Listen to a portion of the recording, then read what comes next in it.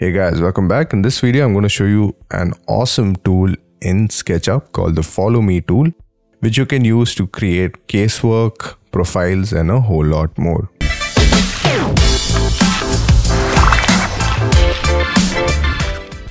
Alright, to start off, let's create our line. So use the line tool, which is L on your keyboard. Click once and you can draw it in any axis. So let's draw it on the green axis and click the second time. Now I'm going to press spacebar to get out of that tool. Now let's create our profile so that we can wrap it around this line. So you can either use the rectangle tool or the circle tool or you can also create your own profile. So let's start by using the rectangle tool. So let's press R on my keyboard. And then what you can do is before you click anywhere or before you create the profile, you will need to change the axis. So tap the left arrow key on your keyboard to change the axis and then click once. And now you can see I'm drawing it on the green axis. And you can either give a dimension or you can click the second time to create your shape, which is going to be our profile. Alright, so now what you need to do to use the follow me tool, and I'll show you the best way to use the follow me tool as well, is to first select the line that you want the profile to be extruded along. So I'm going to click on this line here, which is our path. So make sure to select the path first and then go to tools and then you will find the follow me here below the push pull tool. So you can also assign a shortcut, but I hardly use the follow me tool. But in case you're going to use it a lot, you can assign a shortcut as well. So let's click on follow me and then you need to simply click on the face to create that profile. So let's do the same for the circle tool as well. So this time I'm going to create a line and I'm going to create a line as an L shape. So I'm going to click again to create an L shape line and then I'm going to press spacebar to get out of the command.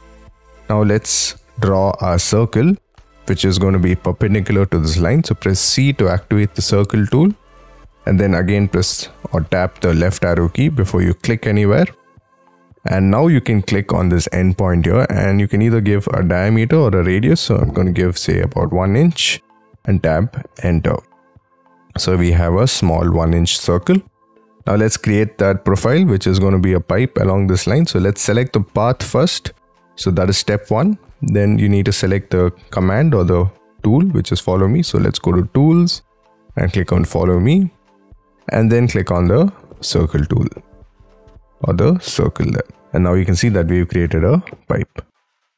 So this is the basic functionality of the follow me tool. Now you can use it in various scenarios. For example, if you want to create a molding, so let me draw a rectangle this time. All right. And let's actually draw our profile. So I'm going to use the line tool this time. And I'm going to click on the edge.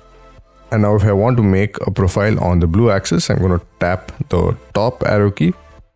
So make sure you get into the habit of using these arrow keys because it snaps when you are drawing stuff in SketchUp. So I'm going to give a height of about say 6 inches and I'm going to snap it to the red axis. So tap the right arrow key this time. Now I'll give a thickness about 2 inches. I'll go down and we've created a rectangle. Now let's create an arc maybe. So let's click on the arc tool here and click once there. And if you hover to the other side, you'll find this pink line, which means it's tangent to the edge. So click the second time and then you'll have to click on the third time, which is on the pink line. So make sure you're always clicking on the pink line. So this way it divides that face. Then use the eraser tool, which is E on your keyboard and delete that edge. All right. So we've created our profile that you want to wrap around this rectangle. So this is another way where you can use the follow me tool. Just simply select the face of the shape you want to wrap it around and then go to tools, follow me and click on the shape there, the profile. So you can see we've created our molding as well. How cool is that? So you can create multiple various shapes. So if I undo and say, for example, if I make a rectangle this way and delete this edge and now select this face, go to tools, follow me and select the profile. You can see we created a profile of that as well. How cool is that? Finally, one last scenario which I can show you is if you're creating a wine glass and so on.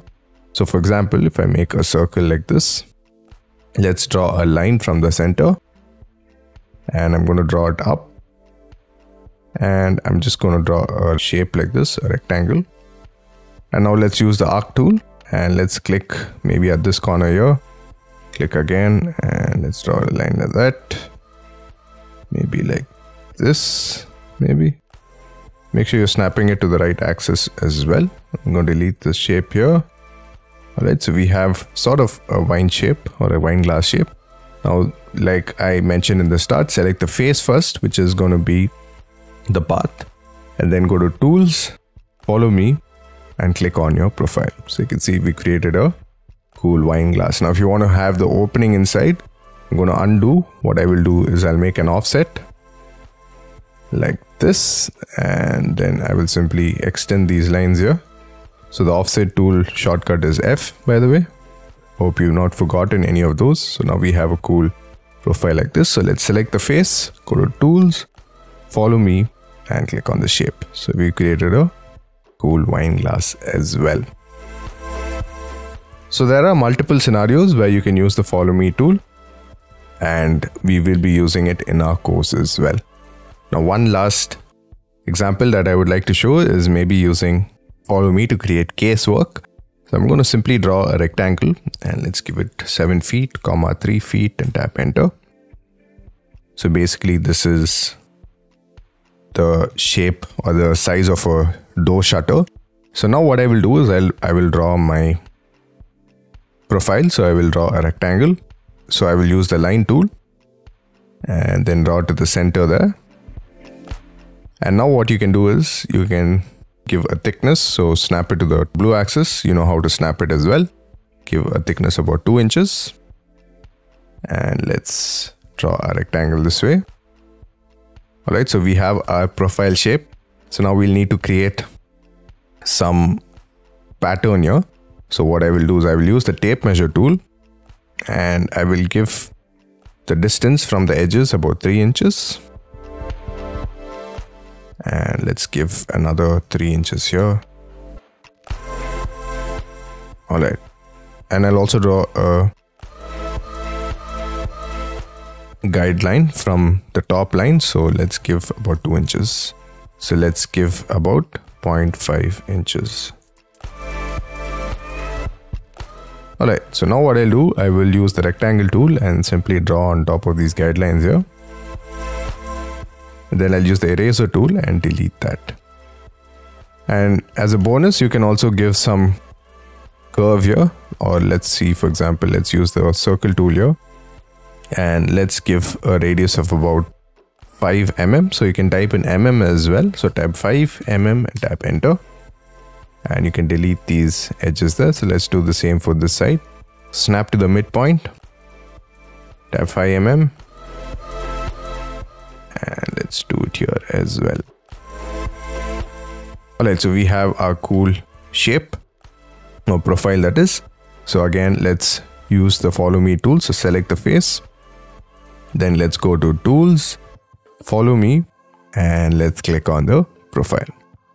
So you can see that we've created this cool casework shutter for our door, which looks pretty cool as well. Looks like more of a door which is used in temples in India. Finally, if you want to delete these guidelines, let's go to edit and click on delete guides. So that would delete any of the guidelines there. So these were various scenarios where you can use the follow me tool. Go ahead and practice it a bit.